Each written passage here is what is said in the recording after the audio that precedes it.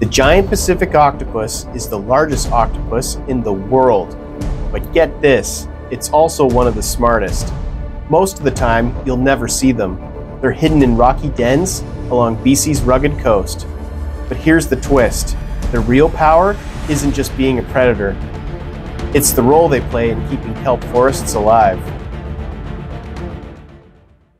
Adventurers, and welcome back to Be Sea Adventures. I'm Ryan Swan, and today we're going back to Velma's Rocks in Sooke, BC. Typically a great spot to see octopus, and since I started doing Be Sea Adventures, I haven't had a really good octopus dive out here in the Otter Point area. I mean, 7751, you know, has been a dive site that I've been diving for years, and usually, it was a few years ago, it was an excellent place to see octopus, but lately, there hasn't been many octopus there.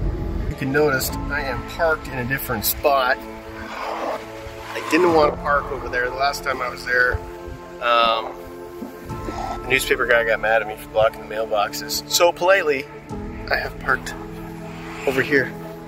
And today, I'm hoping to find an octopus. I got my lucky octopus shirt on. We're hoping to find some GPOs under the sea. In this episode, we're back at Velma's Rocks in Sooke, BC, a site I know well, reef, current, and one of the biggest kelp forests in the area. Therefore, it's the perfect place to look for a giant Pacific octopus and to understand why they're so important to the balance of our kelp forests. To understand why the octopus matters, you first need to know the forest itself. Bull kelp, Nereocystis. It's like an underwater tree it can grow up to 30 meters long, weaving together canopies that shelter fish, crabs, and hundreds of other species. But like any forest, it needs balance. Without predators, grazers like crabs and urchins can overrun the reef. Therefore, something has to keep them in check, and that's where the octopus comes in. As I swam deeper, the kelp thickened. Tube snouts darted between the stipes, every stem alive with movement schools of fish swirling around us.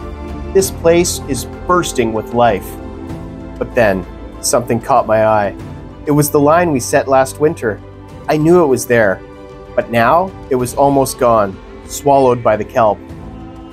The bull kelp clung to the reef with its holdfasts, gripping the rock, pulling and twisting until, by autumn, all of it will be knotted together in one giant rope of living kelp. Out of the green haze, a shape drifted, a fried egg jellyfish caught in the kelp. Quinn carefully pulled the strands aside so we could see it better, but this just wasn't any jelly. It was one of the biggest we'd ever seen. Its long, stinging tentacles a reminder that here, everything is connected predator and prey. But to get the full story, we had to dive deeper. The reef was calling. First clue an octopus den. Crab shells piled high at the entrance. Another den, and then another den. But the octopus themselves, they stay tucked away, comfortable in their homes. I counted six active dens on this dive.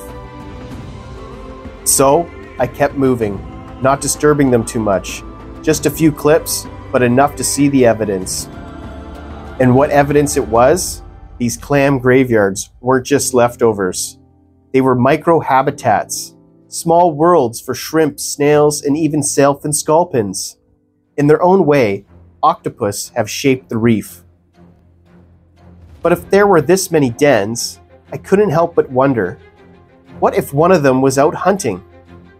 I had a good feeling something was about to happen. And then it appeared, a giant Pacific octopus out in the open, the largest octopus on Earth.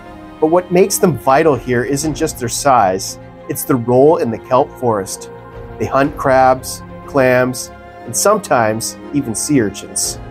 Grazers, if left unchecked, could strip these forests bare. Therefore, every time an octopus feeds, it's keeping this ecosystem alive, just like sea otters and sunflower sea stars. But with their populations in decline, urchins have exploded, tearing down kelp forests all across the Pacific Northwest. Therefore, without the octopus, we risk the same collapse here, and it goes deeper. Their dens recycle nutrients, the leftovers create homes, and when their short life ends, they become food themselves for fish, sea lions, and even other octopus. Watching one crawl across the reef feels like watching the heartbeat of the kelp forest itself. It crawls, it pauses, it changes, and suddenly it's gone. On the way out, we drifted through a tunnel of kelp, a canopy overhead, the light flickering green and gold, a living cathedral built from sunlight and tide. But every cathedral needs its guardians. Velma's Rocks delivered again, a dive packed with life, and proof that the giant Pacific octopus isn't just mysterious, it's essential. They're guardians of the kelp forest. Without them, this world would look very different.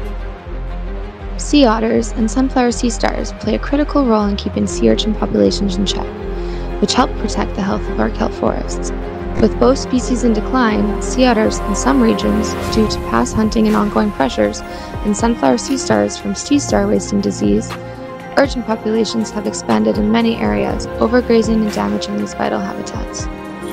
Giant Pacific octopus are not currently in decline, but if their balance were disrupted, the prey they regulate could surge if left unchecked.